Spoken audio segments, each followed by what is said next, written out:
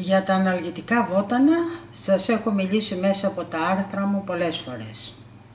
Σε αυτό με το βίντεο θα επιλέξω κάποια από τα αναλγητικά βότανα με στοχευμένη δράση για όταν πονάει όλο μας το κορμί, όταν πονάνε οι μύες μας και οι αρθρώσεις μας με αιτία το κρυολόγημα που ούκο λίγες φορές μας ταλαιπωρεί τις περιόδους του χειμώνα.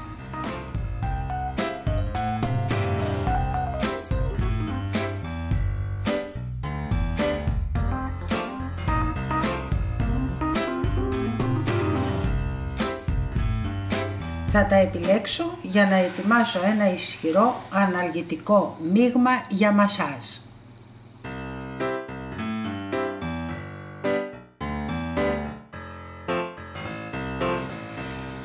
Και μία παρένθεση. Είναι σημαντικό να προσαρμοζόμαστε με τις εποχές και να κάνουμε ό,τι αυτές προστάζουν. Έτσι, κάθε χειμώνα είναι επιτακτική η ανάγκη να ενισχύουμε το ανοσοποιητικό μας σύστημα και να δίνουμε το χρόνο στο σώμα μας να επαναφορτιστεί. Αποφεύγουμε το κρύο, αναζητιάμε τη ζεστασιά και βέβαια τον ήλιο. Όταν εκτιθέμεθα συχνά στο κρύο, αποδυναμώνουμε τον οργανισμό μας και του στερούμε τη δύναμη να μας προστατεύσει από παθογόνα μικρόβια. Γι' αυτό πρέπει να ντυνόμαστε ζεστά και επειδή το κρύο επηρεάζει και τα εσωτερικά μας όργανα, πρέπει να διατηρούμε και το εσωτερικό του οργανισμού μας ζεστό μέσω των βοτανικών οροφημάτων και του κατάλληλου φαγητού. Τα ροφήματά μας πρέπει να έχουν θερματικές ιδιότητες όπως και τα φαγητά μας. Και όπως το χειμώνα η φύση ξεκουράζεται, έτσι και το σώμα μας χρειάζεται και απαιτεί περισσότερη ξεκούραση.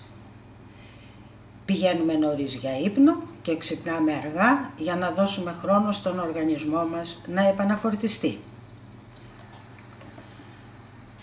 Πρέπει να μάθουμε να ξεκουραζόμαστε και να αναγεννιόμαστε το χειμώνα. Ο οργανισμός μας θα μας ευγνωμονεί.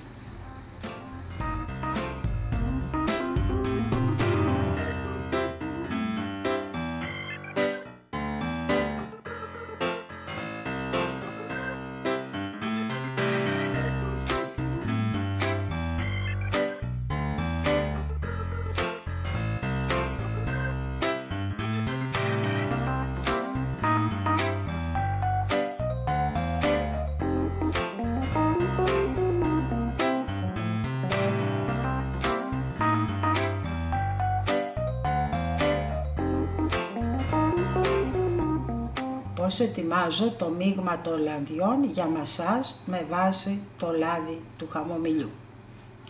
Θα χρειαστώ 100 γραμμάρια λάδι χαμομηλιού, 10 σταγόνες εθέριο έλαιο δεντρολίβανου, 20 σταγόνες εθέριο έλαιο ευκάλυπτου, 20 σταγόνες εθέριο έλαιο πεύκου, 5 σταγόνες εθέριο έλαιο θυμαριού.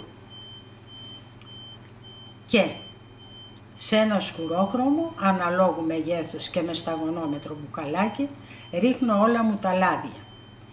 Και αφού το κλείσω πολύ καλά, το κουνάω ώστε να ανακατευτούν και να ομογενοποιηθούν τα λάδια.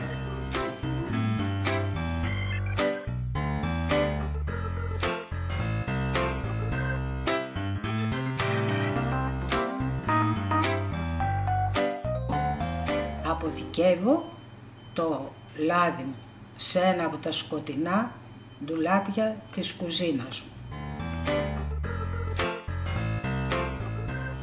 Και όταν το χρειαστώ, το χρησιμοποιώ κάνοντας μασάζ πρωί και βράδυ. Η ανακούφιση είναι άμεση.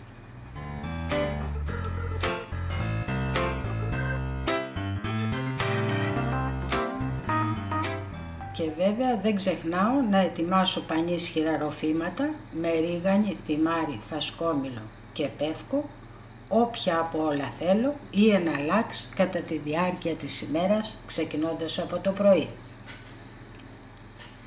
Στο ρόφωμά μου με ευελώνες πεύκου πολλές φορές προσθέτω μέλι και λεμόνι για να αυξήσω τη θεραπευτική του δύναμη και να πολλαπλασιάσω την ευωδιά του. Άλλες φορές προσθέτω αποξηραμένες φλούδες πορτοκαλιού ή κάποιο μπαχαρικό που επιτάσσει η στιγμή και η κατάσταση, χαρίζοντας παράλληλα επιπλέον εξωτική γεύση στο ρόφημά μου. Είναι εκπληκτικό ότι μπορεί να μας προσφέρει ένα απλό φλιτζάνι με ρόφημα πεύκου.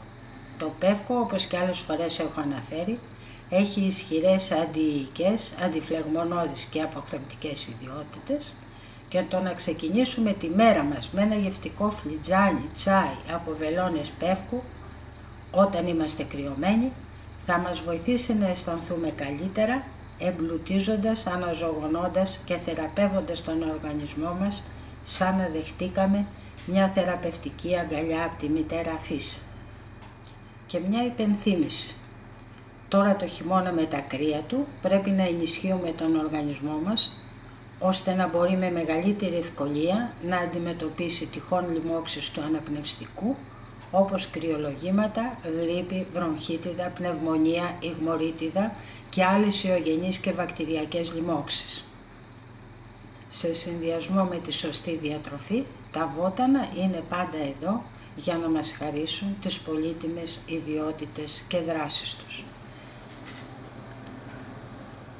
Και να θυμόμαστε πως τη στιγμή που αλλάζουμε τον τρόπο σκέψης μας, επαναπροσδιορίζουμε τις βιοχημικές λειτουργίες του σώματός μας.